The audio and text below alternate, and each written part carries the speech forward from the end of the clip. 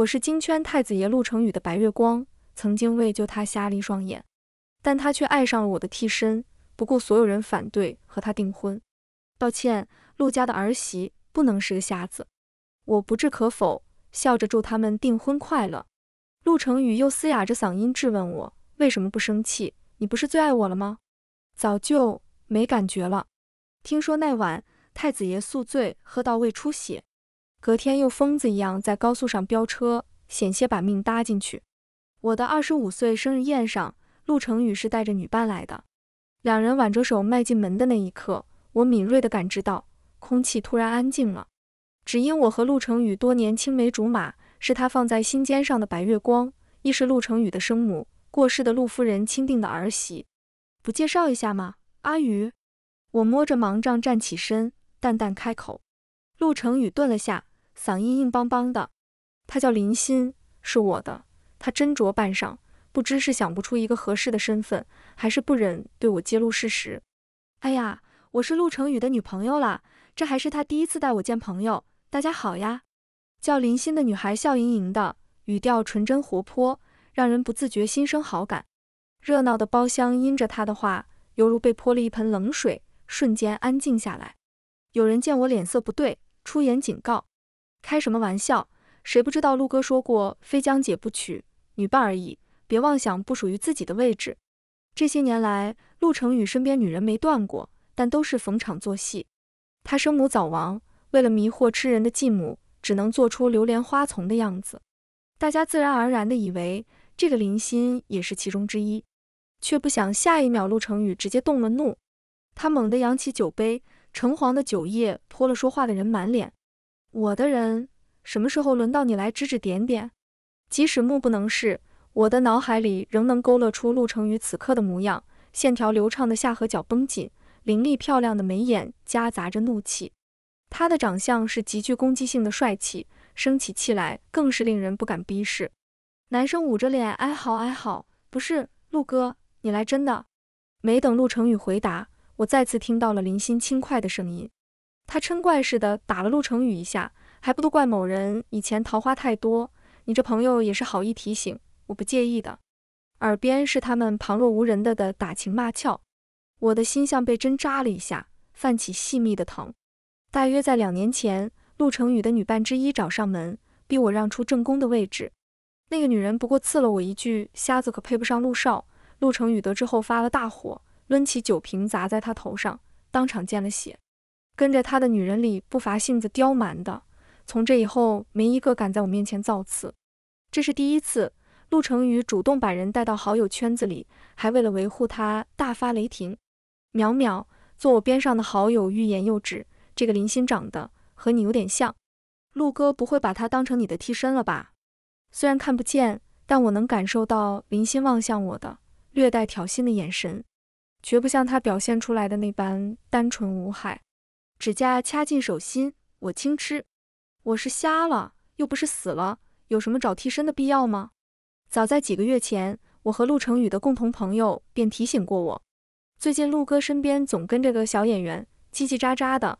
样貌和你还有几分相似，江姐，你留意着点。从小玩到大的情分，陆成宇表面风流，实际多在乎我，我都看在眼里。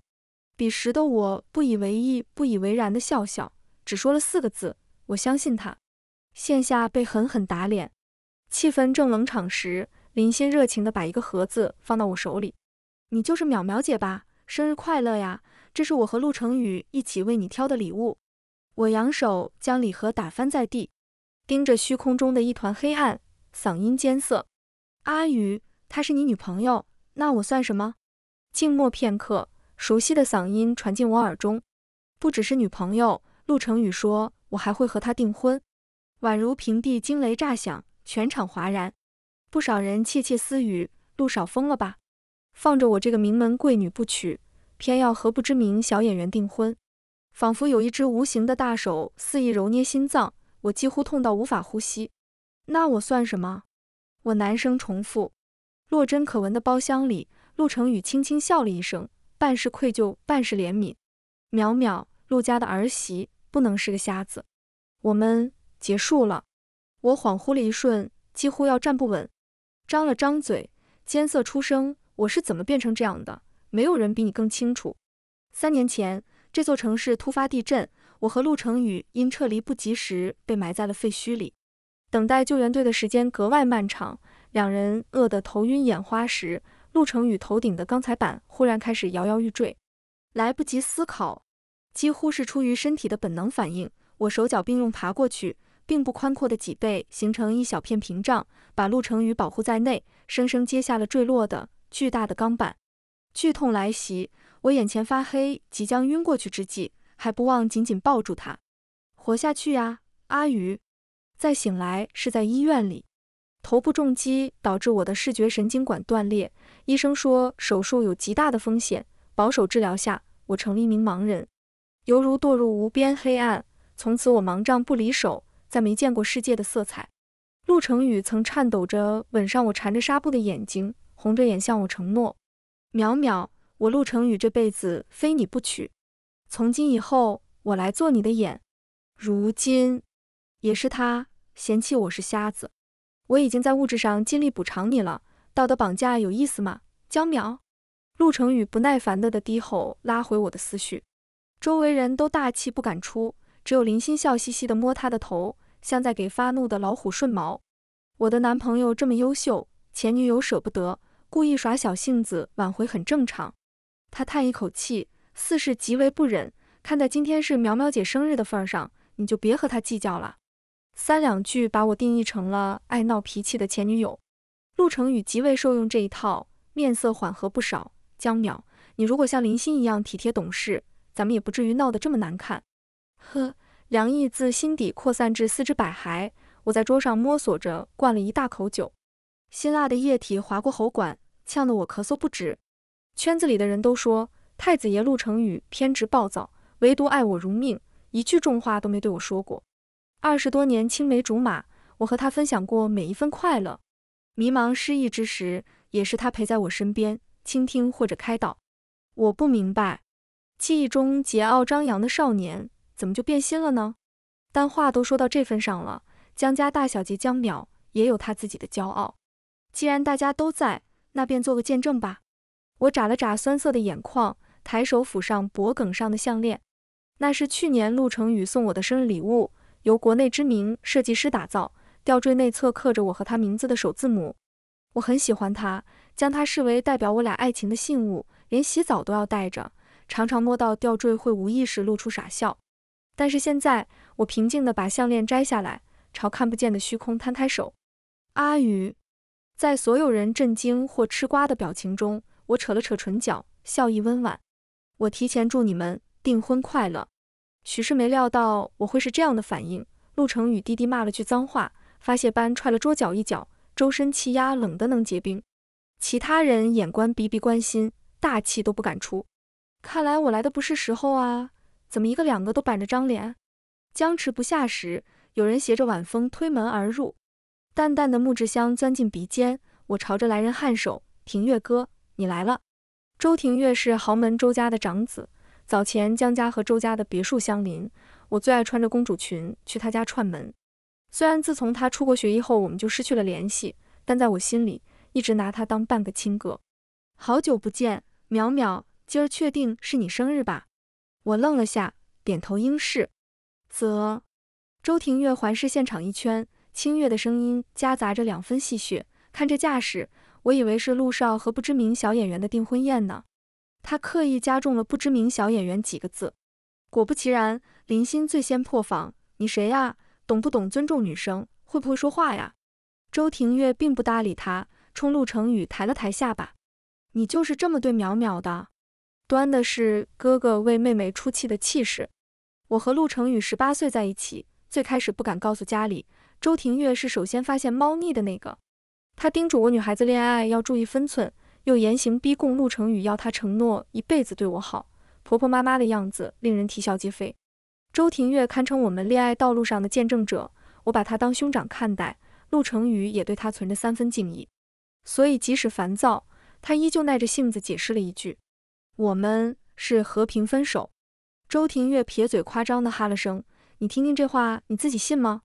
这个生日宴就到此为止吧。淼淼，我送你回家。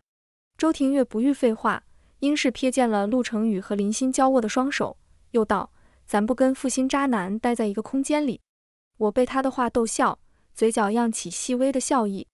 好，盲杖敲击地板，我慢慢朝他靠近，却在经过林欣时，陡然伸出的脚将我绊倒，身体不受控制的往前栽。淼淼，陆成宇惊呼出声，焦急不似作假，温热的手掌揽上我的腰。分手就要有分手的样子，还是管好你旁边那位吧。周庭月打掉他的手，又稳稳拖住我的后背，待我站稳，一触即分。若是以往有人多次挑衅，以陆成宇骄纵的脾气，早一拳揍上去了。但今日他只是压着力气说了句：“我送出去的东西，没有收回来的道理。”哦，他是说桌上那条无人认领的项链，那便扔了吧。我有些疲惫了。嗓音也轻飘飘的，慢吞吞折返回去，拿起项链，毫不留恋地丢进了垃圾桶。夜晚的风透过车窗拂过脸颊，吹散了缠绕在心头的郁结。谢谢你呀，庭月哥。周庭月刚回国不久，就冒着得罪陆成宇的风险替我出头，是我没想到的。他是在地震那年出国的，算起来已三年未见。我一门心思放在陆成宇身上，年少的情谊早已变得模糊不清。听说周伯父喜欢古玩，我爸新拍下一套清朝的茶器，改天我带上他登门拜访，生怕他觉得空口道谢不够诚意。我如是说。周庭月停顿两秒，笑了：“淼淼，不必和我见外。”不知是不是错觉，我竟听出了他努力隐藏的一丝极难察觉的失落，转瞬即逝。诺，你的生日礼物。周庭月很快恢复自如，丢进我怀里一个长方形的盒子。谢谢，这是一条项链。我玩笑般调侃，果然是旧的不去，新的不来。周庭月没有笑，沉默地看了我很久，才像老友寒暄般问：“这三年你过得怎么样？”感受到空气波动，是他在我眼前挥了挥手。我不禁失笑，别试了，是真的看不见。周庭月握紧了拳，咬牙切齿。要早知陆成宇是这么个东西。周庭月有一双很温柔的桃花眼，脾气也向来温和。惯爱笑着损人于无形，这是我第一次感知到他显而易见的怒气，有些惊讶，又忍不住因为他的维护感到触动。从今晚起，我和他再没关系了。我的语调轻缓而坚定。从十八岁到二十五岁，我们一起度过七年。爱一个人，我用尽全部力气，放手时也绝不会拖泥带水。他配不上你。周庭月顿了下，嗓音发涩：“淼淼，你也该看看。”别的男人，我只当他是在安慰我，笑着称是。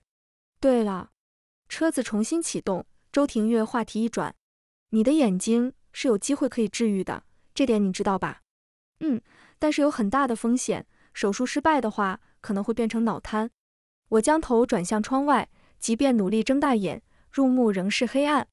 这三年来，我爸妈动用人力财力，访遍名医，但都是徒劳。我已经不抱希望了。周庭月语气冷静，以医学生的专业身份向我科普：视觉神经大部分断裂，却有治愈的可能，但以国内的医疗水平，属实冒险。如果能请到国外著名的眼科手术专家的话，倒可一试。我苦笑：美国有个眼科圣手露西卡女士，但她已经退出手术台，专心教书了，不是吗？据说千金难求，倒也不一定。周庭月笑得狡黠：如果我双目完好。便能看到他夜色中他发亮的眼和唇角勾起的渴望得到夸奖的笑。巧了不是，我留学学的是眼视光技术，而露西卡女士是我的导师。躺在医院里做眼部和脑部的各项检查时，我整个人还是懵的。露西卡女士将于两周后到达中国，爸妈已经给我安排好了 VIP 病房。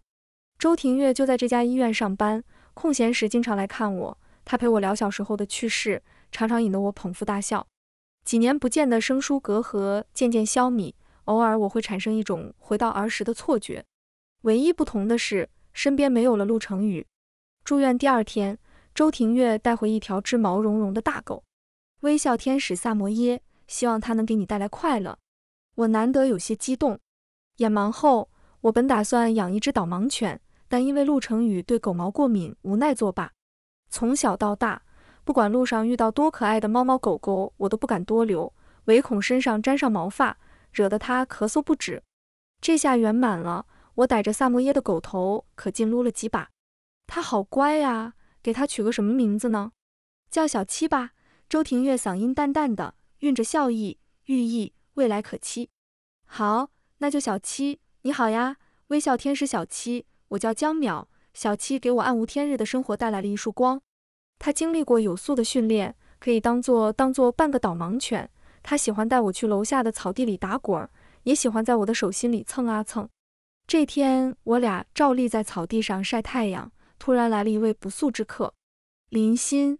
他踩着高跟鞋，居高临下的对着我阴阳怪气：“苗苗姐不愧是豪门大小姐，眼科圣手都耐被你请山。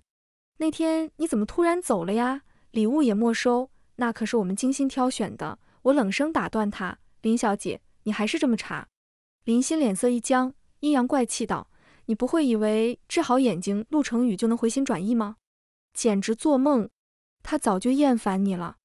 原来他打的是这个主意。我觉得好笑。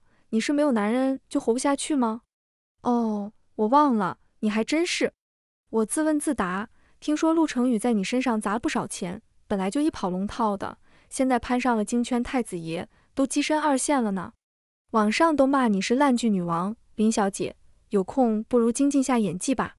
林欣大概以为我是温婉大小姐那挂的，没想到我对起人来毫不手软。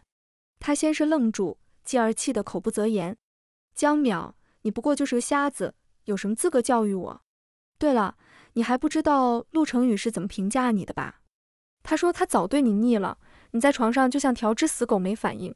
他还说他爱我。一定会娶我进门，污言秽语不堪入目，像一把锋利的匕首刺进我胸口深处。汪，汪汪！小七注意到这边的动静，甩着尾巴跑过来，冲林心狂吠。靠，哪来的疯狗？或许是看小七是萨摩耶，没什么攻击力。沉闷的几声响突兀地传进我的耳膜，林心竟边骂边抬脚踹了过去。滚啊！他厉声呵斥。小七痛得嗷呜乱叫，但还是挡在我身前，不肯挪动半步。太阳穴突突跳动，我拎起盲杖，用力向林欣的方向砸去。第一下打在他小腿上。江淼，你干嘛？你干嘛？你这个泼妇！林欣吃痛，腿一软，半跪在地。目不能视时，其他感官就显得尤其敏锐。我又一棍子打在他背上，他痛得大叫：“你怎么敢？陆成宇不会放过你的！”有什么不敢的？我嗓音极冷，像淬了冰。你都说了我是豪门大小姐，难道会怕一个没教养的三流演员吗？我用两指粗的盲杖指着他，一字一顿：林欣，别试图招惹我，否则你来一次，我打一次。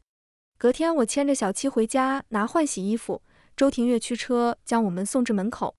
不进去坐坐吗？庭月哥，我爸妈都很想你。周庭月摇下车窗，冲我弯起眉眼。下午还有一台手术，改天我再来看望江叔江姨。周庭月看似温和，实则是最叛逆的那一个。他从小就对家族企业毫无兴趣，反而不可自拔地热爱医学。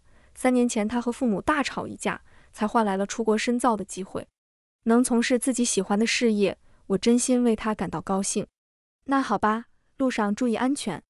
我挥手和他再见。在汽车驶离的轰鸣声里，我一手拉着狗绳，一手拄着盲杖，心情颇好的往里走。还没迈进门，便被一只手大力攥住了手腕。这人一言不发，只是拖着我往旁边走，全然不顾我因为失明踉踉跄跄的脚步。陆成宇，在他靠近的那一刻，我便喊出了他的名字。你在闹什么？他明显是故意堵我，浑身散发着低气压，声音又低又沉。这里不是说话的地方，去我家。怎么有人能把“去我家”三个字对前女友说的这么自然？心头蓦地窜窜起一簇火苗，我奋力甩开他。有什么话就在这说，容我提醒你，我们已经分手了，还是不要过多纠缠为好。陆成宇愣愣地看着被我毫不留情甩开的手，良久，他才开口，语气是不客气的指责。他说：“江淼，你就这么受不住气吗？为了一只狗打人？”我了然，这是林星吹枕边风告状了。陆成宇又说，他不过刺你两句，忍一忍不就过去了，至于吗？我又想起那个只是骂了我一句瞎子，便被陆成宇用酒瓶爆了头的女人，这事传到我耳中，我不免唠叨着让他控制住脾气，别一点小事就打打杀杀的。那时的陆成宇把头埋在我颈间，闷闷地说：“不是小事，淼淼，我不会让你受一丝一毫的委屈。”真讽刺啊！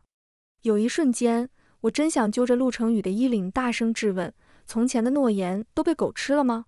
转念一想，变心就是变心，有什么好问，又有什么好解释的呢？于是我后退两步，拉开和他的距离，冷着脸吐出三个字：忍不了。你信不信？再发疯的话，我的盲杖随时会落在你身上。陆成宇硬是连拖带拽把我拉到一个角落。在我以为他要为捧在手心里的新女友讨回公道时，他突然俯下身抱住了我。淼淼，再等等，再等等好吗？像之前的无数次那样，陆成宇的脑袋靠在我颈间，温热的呼吸喷洒在我的皮肤上。我不禁嗤笑，这副模样，不知道的还以为他是精神分裂呢。没等我推开陆成宇，一股力道骤然将他从我身上扯开，拳头混着疾风，重重砸在他脸上。陆成宇，你他妈又想干嘛吗？是去而复返的周庭月。两人很快扭打在一起。我仔细分辨动静，原来是周庭月单方面虐陆成宇。不知出于什么心理，陆成宇根本不还手，只是闷声挨打。小七受了惊，站在一旁狂吠，像是在给周庭月加油助威。庭月哥，再这么打下去也不是个事。我出声叫停。我衣服还没拿呢，送我回去吧。周庭月周身浓重的戾气，在我开口的那刻尽数消散。王八蛋！他啐了句。周庭月是气质温雅的世家公子，说脏话骂人还是头一遭，可见有多讨厌陆成宇这个负心汉。我笑弯了眼，安慰他：“咱不和王八蛋一般见识。”周庭月的怒气随着我的笑散了大半。淼淼，我们走。两人一狗撇下地上的陆成宇，就此离开。整个过程中，陆成宇没说一句话，但他的目光紧紧粘在盯在我身上，如有实质。我们所处的地方是个偏僻的角落，距离江家别墅尚有一段距离。昨夜下过雨，路面湿滑。周庭月看我行走间十分艰难，朝我伸出手：“淼淼，要不要我牵着你？”话音刚落，他又觉得不妥：“这样吧，你把盲杖递给我，我拉着你走。”我哑然失笑。这就是周庭月和陆成宇桀骜难驯的性格截然相反。他最为守礼，从不做可能令人尴尬的事。若是这时有人路过，就会看到这样一幅幅画面：板砖平滑的小路上，有盲女握着拐杖的手柄，另一端在一个身姿清俊的男人手里，他还牵着一只通体雪白的萨摩耶，奇怪又美好。我忽然想到，庭月哥，你不是还有手术要做吗？刚出小区就看见了陆成宇停在路边的车。我立马折返回来了，幸好他没来得及对你做什么。周庭月应当是对我眨了眨眼，用调侃的语气说：“你可比手术重要多了。”我则认真的向他道谢：“庭月哥，你真的帮了我很多。那晚上在你家蹭顿饭，江叔江姨不会介意吧？”当然，他们高兴还来不及。没过几天，陆成宇高调注册微博，官宣了他和林星即将订婚的消息。花心太子爷恋上开朗热情小演员，为爱收心的新闻上了热搜，网友纷纷表示玛丽苏文学照进现实，这对我先科为敬。也有捕风捉影的记者记起我这个被遗忘在角落的所谓白月光，拿我和林欣相似的容貌大做替身文学的文章。陆成宇亲自下场辟谣，碰巧长得像而已。我喜欢的是这个人，又不是那张脸，引得一众网友磕生磕死。直呼太子爷男友力 max。周庭月将这些事讲给我听时，修复神经的手术取得圆满成功。我的眼上又缠上了纱布，只是这次我满心都是向往光明的欣喜。我妈激动的都哭了一场，在我床边给我削苹果。哎，本以为小鹿是个痴情的，结果你们还没结婚就整出了小三来。看来看去还是我们庭月好啊，你们俩这知根知底的，依我看啊。直接在一起得了，我哭笑不得。妈，你就别乱点鸳鸯谱了。我是拿庭月哥当亲哥看的，而且他有喜欢的人。啊，这是我妈，这是周庭月。我看不到他们的反应，自顾自的往下说。前两天我听见有小护士给他要微信，他亲口说的，是吧，庭月哥？周庭月愣了一下，继而笑弯了眼。江怡，淼淼说的的没错，我确实有喜欢的人，所以不加别的女孩微信。我自然而然想到陆成宇身边的殷艳艳，彼时深爱他的我虽然表面大度，但偶尔也会闹脾气。你总说这都是演戏，万一假戏真做了，我找谁哭去？陆成宇总会以吻封缄，将我亲得喘不过气，再附在我耳边哑声说：“淼淼，我心里只有你。”然后第二天，他依旧会和那些女人游刃有余地做戏。回过神来，我对着周庭月八卦：“什么时候让我们见见传说中的嫂子啊？”似乎陷入了甜蜜的回忆。过了一会，才听到他的回答：“还在追，在国外那几年。”我给他写过很多封情书。周庭月挑了挑眉，一本正经地说：“虽然还没追到，但我已经向他求过婚了。”此话一出，我和我妈下巴都要惊掉了。什么意思？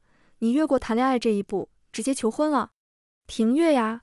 我妈一拍大腿：“年轻人不能这么莽啊！追女孩你得一步一步来。”周庭月不以为意，不以为然：“已经等得够久了，我想尽快和他在一起。”说起来。和陆成宇在一起七年，我也等了他够久了。我不止不止一次旁敲侧击地问他打算什么时候向我求婚，但他总是以先立业再成家为由，再三推辞。你知道我的继母一向视我为眼中钉，只有夺回属于我的一切，我才有向你父母提亲的底气。再等等，淼淼，等我解决完这一切，我会给你一场最豪华、最盛大的婚礼。再等等，是陆成宇对我说过最多的三个字。那结果呢？那女孩同意了没？我妈捕捉到关键信息。周庭月垂眸思索片刻，她还没给我答复。那多半是凉了。我妈唉声叹气。我倒觉得还有机会。目前看来，周庭月对待这份感情的态度足够认真，听得出他是奔着结婚去的。庭月哥，我由衷道，祝你早日追到未来嫂子。周庭月喉间溢出轻笑，语气是少见的温柔。那就。借淼淼的吉言了。日子流水般过去了半个月，我妈陪床，小七陪玩，周庭月下班。后来我这边讲些趣事，什么太子爷为其女朋友包场庆生，砸了两千万让他带资进组。他每次说完都会异常愤慨地骂陆成宇渣男，迟早要遭报应。但陆成宇缺席订婚宴这事，我是从两个小护士口中听到的。这也太抓马了吧！感情前期的甜蜜都是营销。呜呜，磕了好久的 CP，我就说金圈太子爷怎么可能看上一个十八线小演员？有内部消息说陆成宇是故意演戏给他继母看的。哎，有钱人的心机可真深啊！我靠，真的假的？正巧这时周庭月洗了水果回来，小护士含羞带怯的看了他一眼，停下讨论去工作了。原来这是另有隐情啊！那淼淼，你会原谅他吗？他试探着问。我淡笑着摇头，我认为。苦衷不是他伤害我的理由。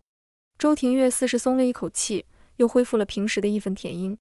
就是又不是没张嘴，不能解释吗？即使他和林欣的一切都是假的，可你受到的伤害是真的，不能原谅。就算陆成宇跪在地上求你回头，你也要狠狠拒绝他。我弯起唇角，放心吧，庭月哥，我的眼睛恢复得很好。周庭月为我拆掉纱布那天，我爸我妈推掉工作来医院看我。久违的光线映射进瞳孔，我先是有些不适的眯了眯眼，然后渐渐看清了周围的景象。洁白的病房里，我爸我妈正一脸期待地看着我。毛色雪白的萨摩耶坐在地上朝我吐舌头，还有穿着白大褂的周庭月，骨相优越，眉眼出挑，鼻梁上架着一副银框眼镜，看向我的目光里满是温柔的笑意。我终于能看见了。话音刚落。我妈撇了下唇，眼泪簌簌地落下来。太好了，淼淼，太好了！一向沉稳庄重的我爸，激动的的在房内走来走去。我的眼眶也控制不住的发酸。距离那场地震已经过去三年，我终于再次看见了世界的色彩。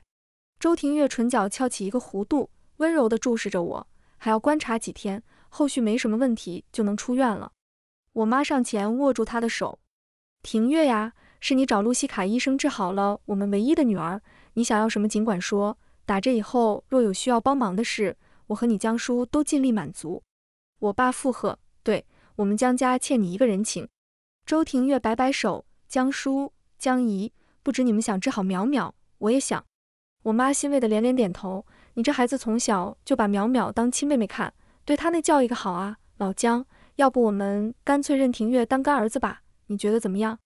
由于复明后太兴奋，玩手机的时间过长，周庭月嘱咐我至少午睡半个小时，让眼睛有休息缓冲的时间。这天我刚闭上眼，打算眯一会，就听到周庭月轻手轻脚的进来。他给我掖了掖被角，站在床边静静地看着我。正当我怀疑他是不是看出我在装睡时，下一秒，清冽的木质香将我包围，温热的触感落在我额头上，一触即分。我用力攥紧手指，才没让自己失声叫出来。周庭月竟然亲了我，脑中冒出一个不可思议的念头，又被我迅速压下去。周庭月一向最是懂礼，相处的分寸总是把握的恰到好处。莫名其妙亲我是几个意思？虽然是额头，但我们又不是亲兄妹，还是很容易产生误会的，好吧？而且他亲口承认有喜欢的人啊，都跟人求婚了，脑中一团乱麻。就在我犹豫着要不要醒来时，病房的门被猛地推开，有人大步走来，挥拳重重落在周庭月脸上。周庭月，我早该想到你对淼淼心思不纯。陆成宇，他最近不是忙着争夺家产吗？怎么会来这里？再装睡就不礼貌了。我淡定地从床上爬起来，喊住即将打起来的两个人：“住手！”陆成宇愕然抬起头：“淼淼，你能看见了？”他今天穿了件黑色卫衣，搭配深蓝色牛仔裤，眉眼深邃而凛冽。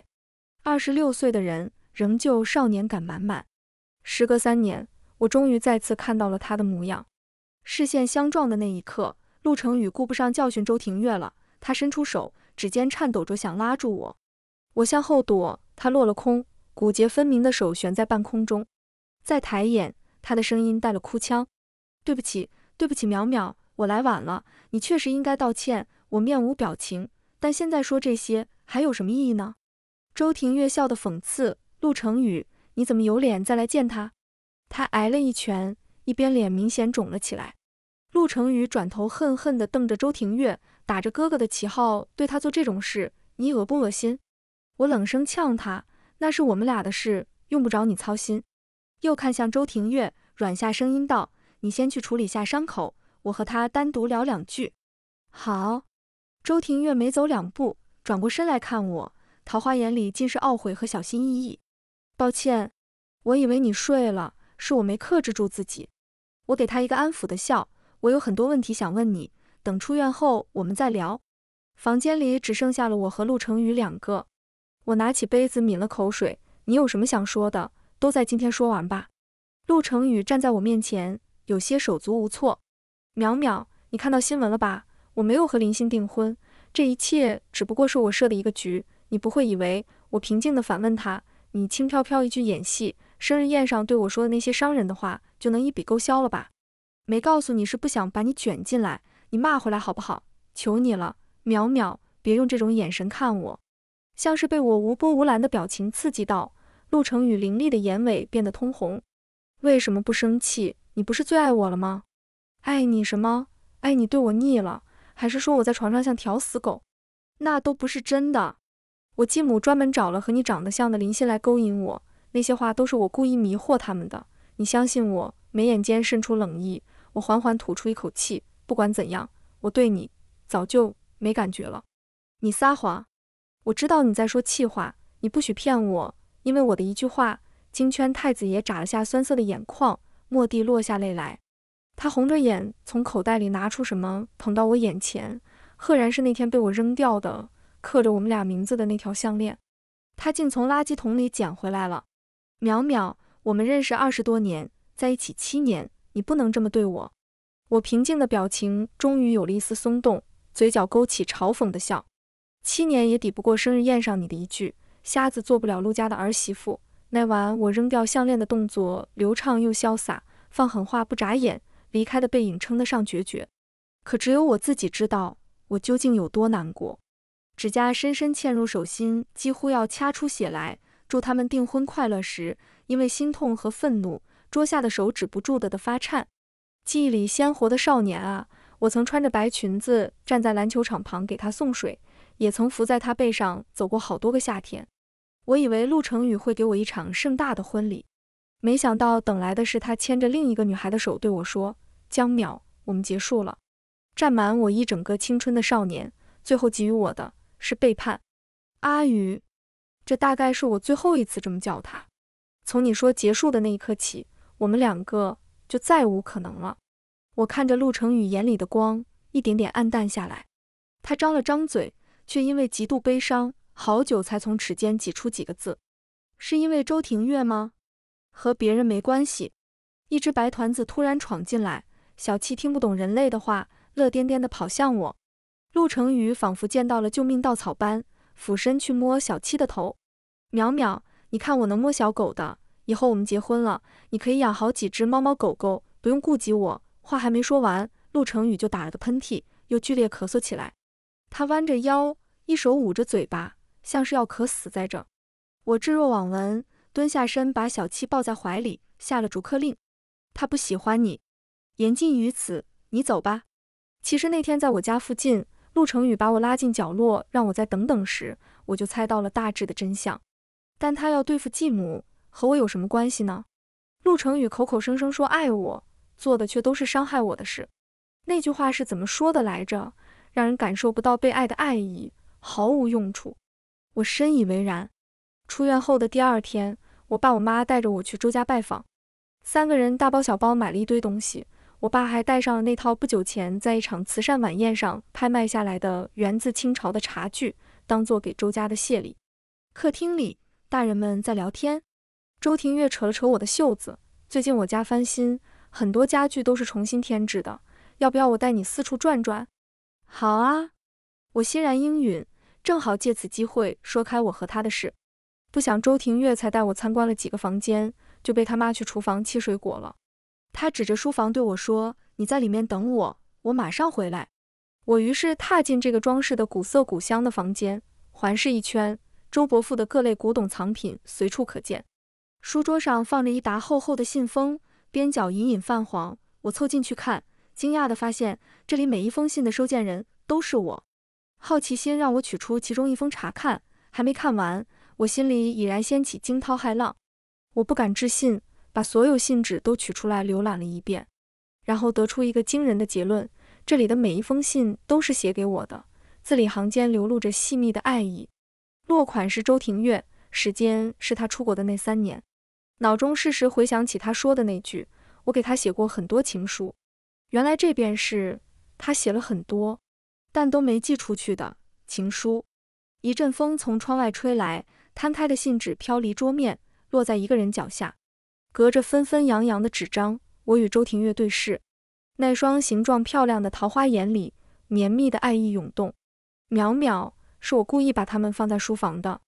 我喜欢，或者说暗恋更贴切一些。早在陆成宇之前，我就暗恋你了。我讷讷开口，可是你说你有喜欢的人啊？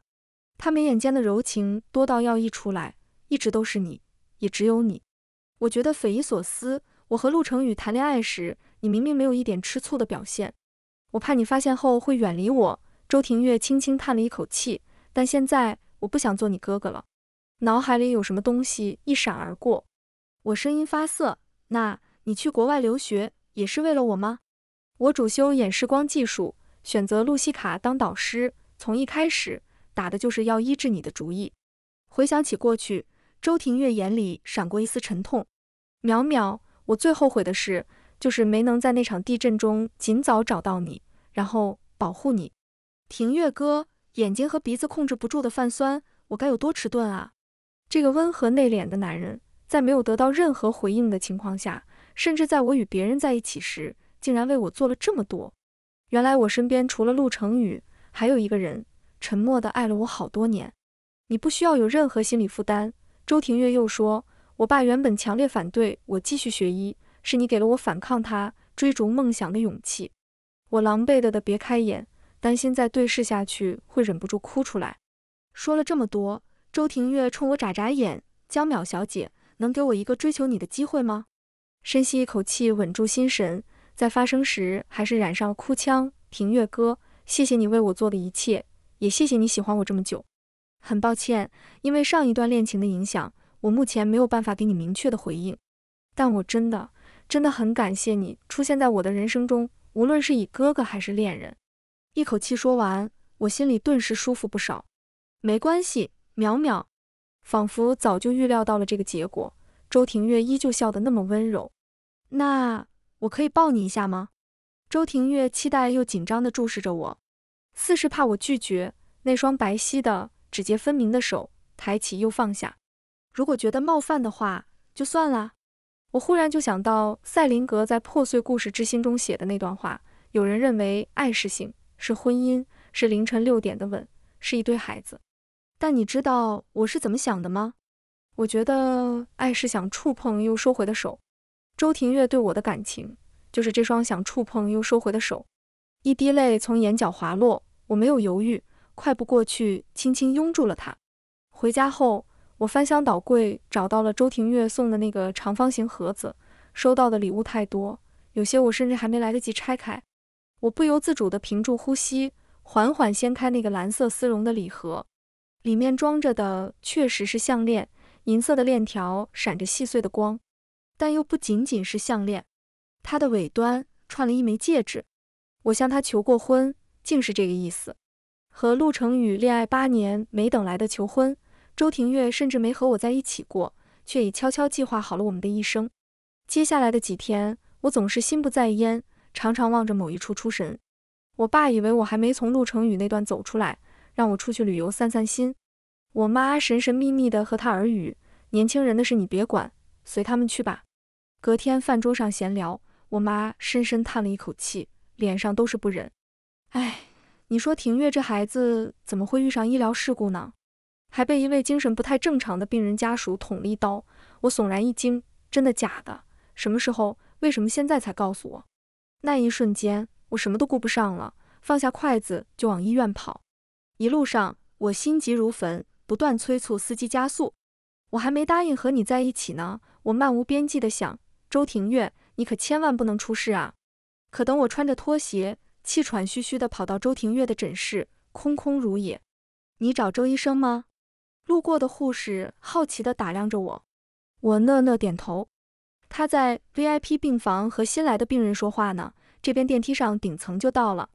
他人怎么样？有没有受伤？还没问完，手机叮咚一声，是我妈发来的消息。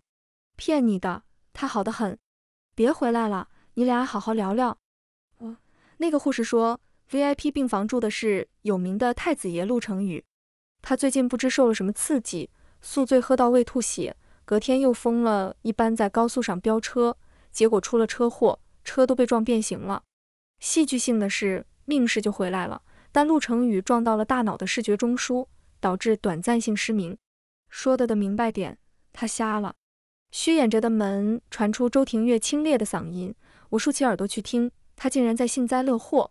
天道好轮回，陆成宇，你看不起淼淼是瞎子时，有没有想过有一天自己也会变成这样？陆成宇摔折了一条腿，想揍他都起不来，只能咬牙切齿地骂他：乘虚而入，趁虚而入，真不要脸！周庭月很不大度地和他对骂：自私鬼，为了自己的利益伤害最亲近的人。淼淼看似温和，实则最为坚定，他眼里揉不得沙子。你简直活该！陆成宇被他气得一口气没上来，呛着了，撕心裂肺的猛咳不止。你他妈装什么正义使者？不过就是想从我身边抢走他而已。周庭月，我们谁又比谁高贵？陆成宇眼里流露出偏执的占有欲。你错了。周庭月居高临下的看着他，提起我时神色变得柔和。他不一定要和我在一起，我只希望他快乐顺遂。可你没做到，不是吗？陆成宇愣住了，甚至哑口无言。周庭月转身准备离开时，对上门缝里我的视线，他脸上面上一喜，迈开长腿向我走过来。苗苗，想到什么？他垂下眼睫，喜悦转变为失落。你是来看陆成宇的吗？我连忙否认，我甚至不知道他出车祸。淼淼，是你来了吗？陆成宇听到了我的声音，他头上眼睛都缠着纱布。半边身体探出床外，近乎哀求地对我说：“进来看看我吧，看我现在这个样子，你心里有没有好受一点？”不可一世的太子爷弯下了他挺直的脊梁，语气如此卑微。但我并未理会，只是在周庭月出来以后，轻轻关上了那扇门。别可怜他，他故意卖惨呢。周庭月煞有其事地说：“恐怕我会心软。”我毫不吝啬地夸他：“你刚才的那番话，说到我心里去了。”周庭月眼睛一亮，像极了开心时的小七，软乎乎的萨摩耶。那不知道江小姐是否愿意重新考虑一下，给我一个追求你的机会呢？